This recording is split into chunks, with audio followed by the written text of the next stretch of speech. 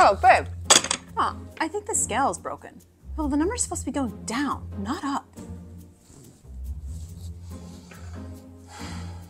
Uh, leave me alone. Let's go over what PCOS really is, the four different types, what the true root causes are. You have to understand the type of PCOS that you have and the true root causes of it. PCOS affects 10 to 13% of women and it's the leading cause of infertility worldwide. Half of the women with PCOS never get diagnosed or they get misdiagnosed. There are four types of PCOS. At the end, I'm going to give you natural things that you can do at home to help treat your PCOS. Number one, one of the most common types of PCOS is insulin resistant PCOS.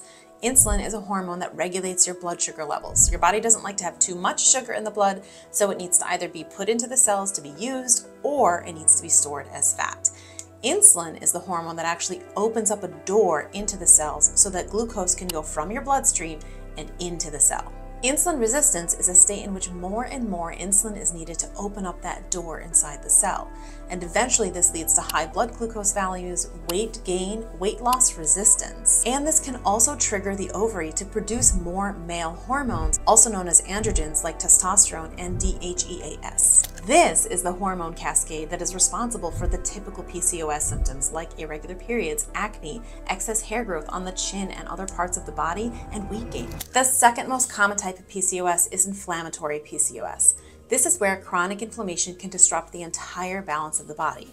It can interfere with ovulation, causing irregular periods, but it will also cause other symptoms like headaches, extreme fatigue, skin problems like eczema, psoriasis, or rashes, it can also cause digestive issues like heartburn, diarrhea, constipation, and you may even have an irritable bowel syndrome diagnosis. Having any of these symptoms is a big red flag for inflammation, and if left untreated for long enough, chronic inflammation can cascade into insulin resistance. Then you'll have symptoms of both insulin resistance PCOS and inflammation PCOS. In situations like these, women will commonly continue to have symptoms and continue having trouble getting pregnant even if they are taking medications that treats the insulin resistance. That's because we're not treating the true root cause of the imbalance in the body, which is inflammation. You may have heard of a classification of PCOS called thin type PCOS, where you don't see the weight gain or the weight loss resistance, or maybe even the irregular periods that you'll see with insulin resistant PCOS, but you'll still see many of these other symptoms that are related to inflammation. So, inflammation PCOS is one of the types where you can find thin type PCOS. The third type is adrenal PCOS. This one is a little less commonly found, but it's linked to your adrenal glands. These are small glands that sit on top of your kidneys and release your stress hormones like cortisol, epinephrine, and norepinephrine, as well as your hormone DHEAS and aldosterone, which regulates your blood pressure.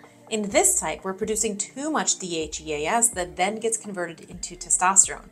This is going to give us our symptoms like acne, irregular cycles, hirsutism, or excess hair on body and face. But in this type, the additional DHEAS and testosterone is originating from the adrenal glands and not the ovaries. Because if you remember from insulin resistant PCOS, the additional testosterone from there is because insulin is making the ovary produce more.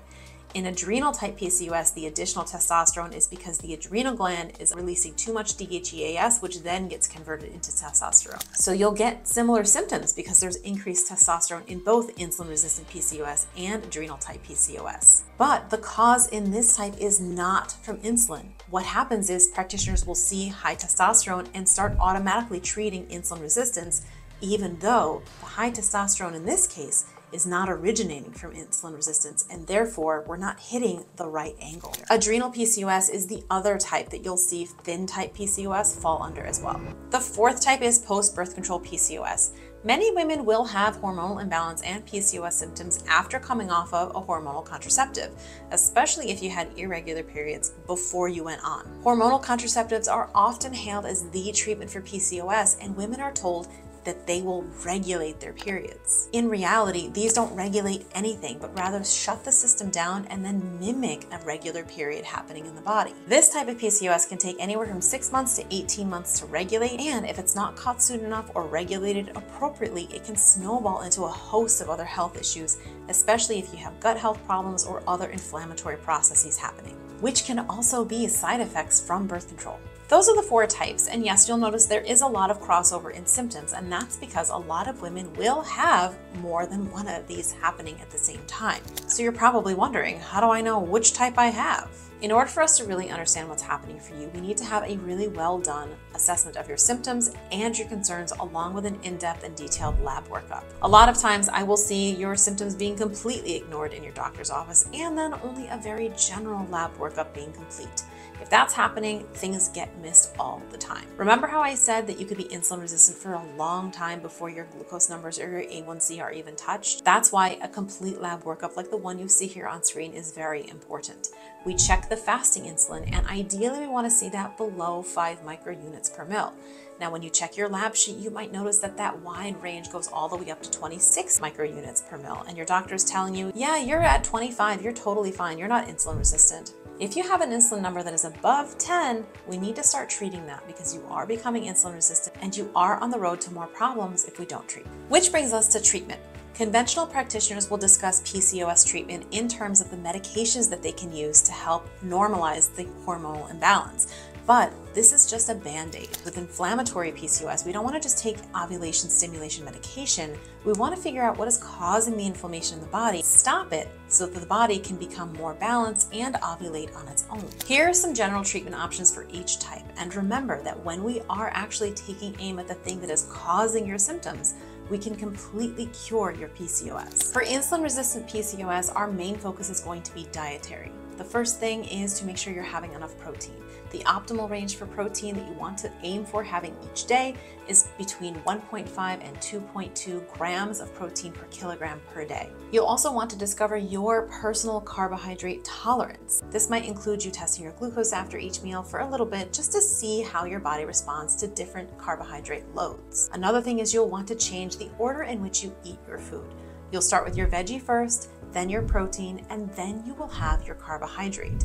Eating it in this order will help decrease your glucose response by up to 75%, and this will also help decrease your insulin needed. You may have heard to go dairy free or gluten free to help with your PCOS, but for most women, this is not the be all end all answer. It can absolutely be helpful for many women, but I recommend that we do this properly through a good elimination diet and we don't rely on gluten free products. Another thing to do when you have insulin resistant PCOS is to add in cardio and strength training. Adding these kinds of workouts helps to decrease insulin resistance and improves blood parameters associated with PCOS. You're going to aim for working out one to three times a week, 20 to 30 minutes at a time. If you're not exercising right now and you'd like to start something, then I recommend starting with a 20 to 30 minute walk after meals. And something that's really helpful is you can actually do some squats after your meals. There are studies that show that doing short bursts of exercise like bodyweight squats helps to improve glucose uptake and insulin sensitivity.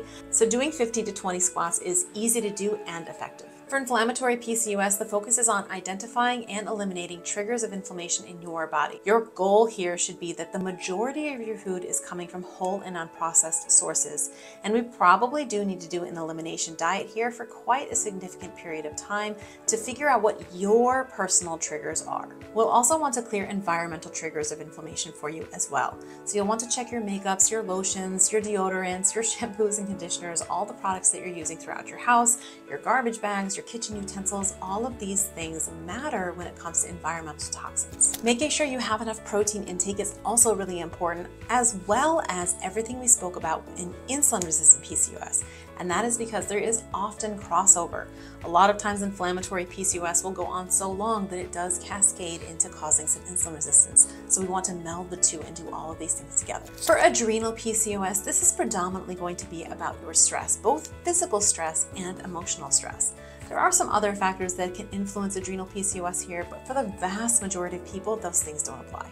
Stress can be from many different factors. It can be from physical factors like not eating enough or exercising too much or not getting enough sleep. Another cause of high stress in the body can also be from inflammation. So this is where those two things can cross over. For this type of stress, you're going to want to make sure that you decrease your working out and even maybe give yourself a break for a little bit.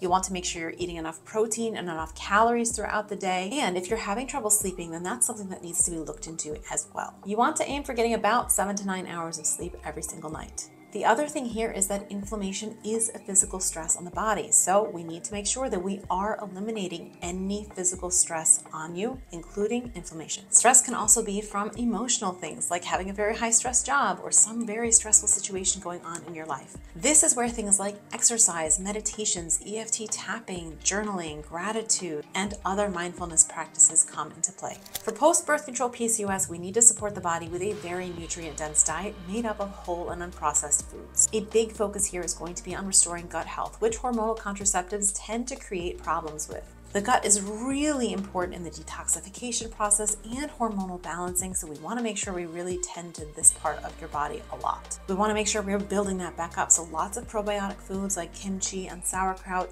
and we also maybe want to do an elimination diet here as well to also find any sources of inflammation for you. You also want to support your liver function with really bright colors. I recommend two to three bright colors at each meal. Make sure you like the video, subscribe down below, and hit the little bell notification so that you know when my next video comes out, which is going to be a step-by-step -step process on how you can cure your PCOS.